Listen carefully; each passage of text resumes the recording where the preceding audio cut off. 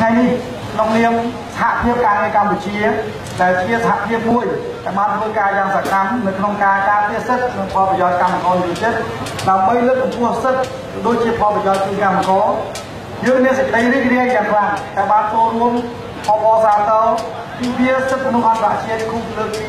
67អលោកលោកស្រីនាងកញ្ញាជនរួមជាតិទាំងអស់ជាទីគោរពប្រហែលជាអលោកលោកស្រីបានជ្រាបច្បាស់ហើយថានាពេលបច្ចុប្បន្ននេះ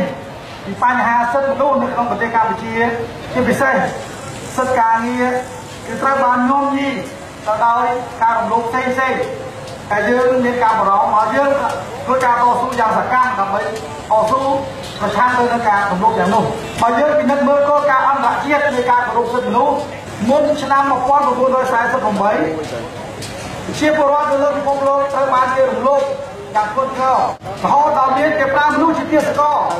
គេទិញដូរមនុស្សលក់ដូរមនុស្សនិងមនុស្សមិនមានសេរីភាពស្មើគ្នាចំពោះមុខច្បាប់ក្រោយមានការតវ៉ាពីកម្មករនយោជិតនិងប្រជាពលរដ្ឋលើពិភពលោកក្រោយសង្គ្រាមលោកលើកទី2ប្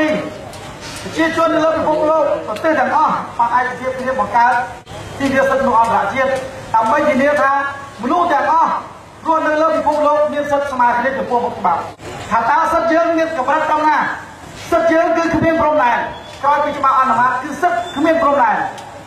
ហេតុអ្វីបាន ជាសិទ្ធិយើងគ្មានព្រំដែនព្រោះសិទ្ធិយើងគឺត្រូវបានទទួលតាំងពីកម្ដៅចុះហេតុអ្វីបានជាចំណុចខ្លះយើងអាចមិនអាចធ្វើបានទោះបីជាយើងសិទ្ធិគ្មានព្រំដែនប៉ុន្តែសិទ្ធិយើងត្រូវបានកំណត់ដោយច្បាប់ជាក់ស្ដែងគឺនៅប្រទេសដែលកាន់លទ្ធិប្រជាធិបតេយ្យមួយចំនួនច្បាប់នៃប្រទេសទាំងនោះគឺបាន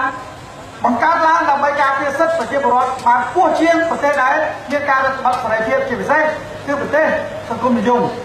បើយើងពិនិត្យមើលនៅក្នុងប្រទេសកម្ពុជារបស់យើងទោះបីជាប្រទេសលទ្ធិប្រជាធិបតេយ្យនៅក្នុងមាត្រា31នៃរដ្ឋធម្មនុញ្ញកម្ពុជាបានទទួលស្គាល់និងអនុវត្តកតិកាកតិកាសញ្ញាអនុសញ្ញាទាំងឡាយដែលមានចែងនៅក្នុងអង្គការសហប្រជាជាតិនិងគោរពសិទ្ធិមនុស្សជាពិសេសសិទ្ធិស្ត្រីនិងសិទ្ធិកុមារប៉ុន្តែយើងក៏នៅតែមានបញ្ហាថ្មីថ្មីនេះសកម្មភាពរបស់សហជីពតំណាងសហជីពជាច្រើនត្រូវបានគេចាប់ ត្រូវបានគេវាធ្វើបានត្រូវបានគេដឹងទៅតុលាការដែលជាឧបសគ្គនៅក្នុងការតស៊ូមតិនិងប្រើប្រាស់សិទ្ធិរបស់ខ្លួនកម្មករនយោជិតជាច្រើនត្រូវរស់នៅក្នុងស្ថានភាពលំបាកប្រាក់ឈ្នួលទាបធ្វើការច្រើនម៉ោងគ្មានស្ថានភាពល្អហើយមានការកេងប្រវ័ញ្ចខ្ពស់ពីខាងនយោជក